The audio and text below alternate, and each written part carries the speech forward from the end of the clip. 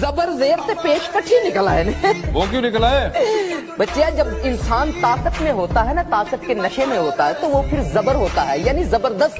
जिन चाहे कुछ समझे जिन चाहे कुछ ना समझे।